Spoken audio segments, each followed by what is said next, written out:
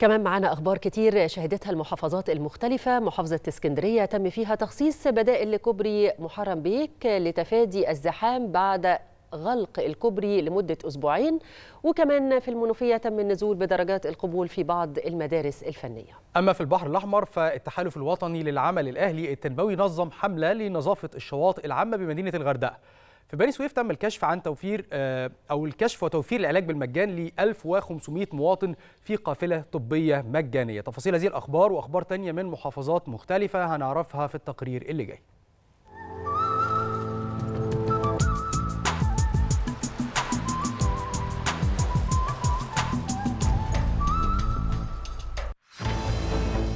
أخبار كتير شهدتها المحافظات. في محافظة الإسكندرية أعلنت الهيئة العامة للطرق والكباري إنها بدأت أعمال صيانة لكوبري محرم بيك باتجاه الكورنيش في نطاق حي وسط مما يستدعي إغلاقه مؤقتا حتى السبت 17 أغسطس الجاري لمدة أسبوعين.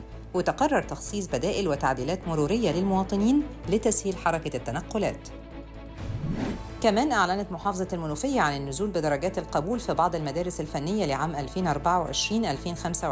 عام وخدمات بمختلف نوعيتها صناعي زراعي تجاري التعليم والتدريب المزدوج وده للمرة الثانية على التوالي لاستكمال الكثافات الطلابية بعدد من المدارس بكل الإدارات التعليمية بنطاق المحافظة ووفقاً لأعداد المتقدمين. وده جه بناء على المذكرة المقدمة من وكيل وزارة التربية والتعليم بالمنوفية والإقبال المتزايد للالتحاق بالمدارس الثانوية الفنية وتخفيف العبء عن كاهل أولياء الأمور وحرصاً على المستقبل التعليمي لأبنائنا الطلاب. في البحر الأحمر نظم التحالف الوطني للعمل الأهلي التنموي حملة لنظافة الشواطئ العامة بمدينة الغردقة بالتعاون مع الهيئة العامة للاستعلامات ضمن حملة الضلع الثالث وشارك في الحملة أكثر من 100 شاب وفتاة من متطوعي التحالف بالمحافظة للحفاظ على البيئة وإرساء عملية الاهتمام بالنظافة العامة. أكدت مديرية الصحة ببني سويف تنفيذ قافلة بقرية العلالمة بمركز بني سويف شرق النيل على مدار يومين مكونة من تسع عيادات في ثمان تخصصات هي الباطنة والأطفال والجراحة والعظام والأسنان والنساء والجلدية وتنظيم الأسرة.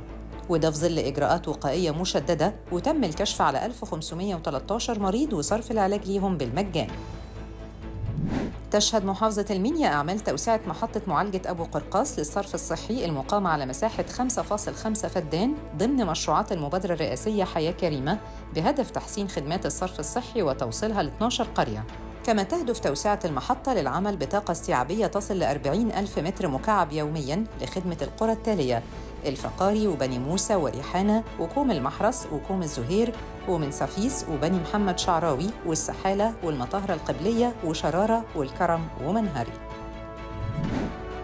أكدت محافظة أسوان أن معدلات التنفيذ بالمرحلة الثالثة من مشروع ممشى أهل مصر بكورنيش النيل وصلت لنسبة 98% ليتم إنهاؤه بالكامل بنهاية أغسطس الجاري ضمن الاستعدادات للموسم السياحي لمدينة أسوان وبيشمل المنطقة الوسطى المواجهة لحديقة بلازا درة النيل وبتضم 56 محل وكافيتيريا وبازار ومطعم سياحي على أعلى مستوى للاستمتاع بالترجل فوق مجرى نهر النيل مباشرة.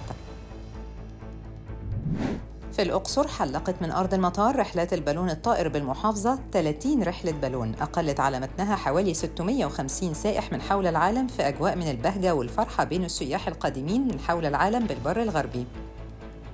وبتحصل شركات البالون الطائر فجرا على إشارة البدء بالتجهيز وبيتم بدء ملء البالونات بالهواء البارد ثم الهواء الساخن وبيتم الإقلاع للسماء وبتصل الرحلات لارتفاع 650 متر بحوالي 2000 قدم من سطح البحر وبتكون الرحلة من حوالي 20 ل 40 دقيقة.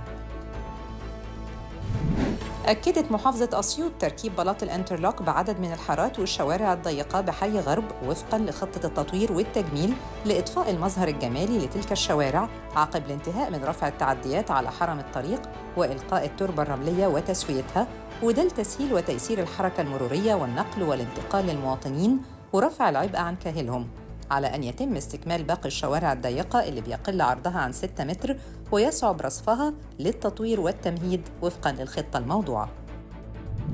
في كفر الشيخ أعلنت مديرية التضامن الاجتماعي تنظيم معرض لتوزيع الأساس المنزلي والأجهزة الكهربائية مجاناً بقاعة نادي موتوبس الرياضي بهدف دعم 550 أسرة من الأسر الأولى بالرعاية من أبناء عدد 17 قرية بمركز موتوبس وده ضمن جهود التحالف الوطني للعمل الأهلي التنموي لتخفيف العبء عن كاهل الأسر الأكثر احتياجاً.